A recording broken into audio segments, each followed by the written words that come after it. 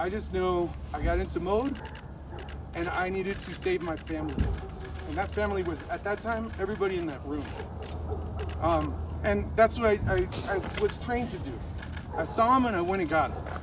Thinking his combat days were behind him, Richard Fierro had taken his family to a Colorado LGBTQ club on Saturday night.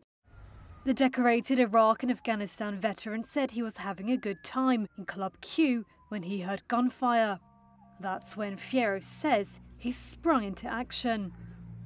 Five people were killed, including the boyfriend of Fierro's daughter, identified by Colorado Springs police as Raymond Green Vance, when a gunman opened fire.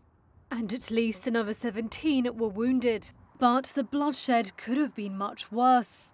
In a news conference on Monday night, Colorado Springs Mayor John Suthers said that's thanks to Fierro and another man, Thomas James, who had rushed the shooter.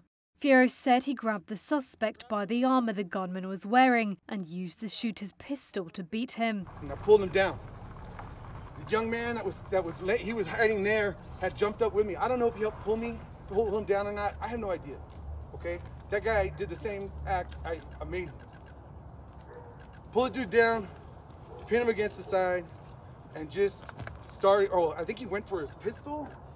I don't know. Either way, I grabbed the pistol from him, and then I told the guy, move the AR. The kid in front of me, he was at his head. I said, move the AR, get the AR away from him. And the kid did it. And then I started wailing on this dude. Fierro added that a drag performer had also stomped on the attacker with high heels. Officials did not elaborate on the men's actions, and Fierro's comments provided details investigators have not spoken about. Fierro said he was detained for about an hour by police, who found him with a pistol in his hand in the confused aftermath of the shooting.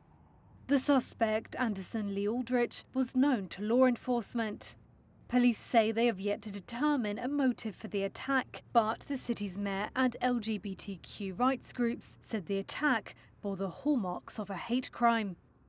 The 22 year old remained under arrest at a hospital, presumably for injuries sustained when Fierro pummeled him in an effort to stop the assault. However, Fierro insists he is no hero.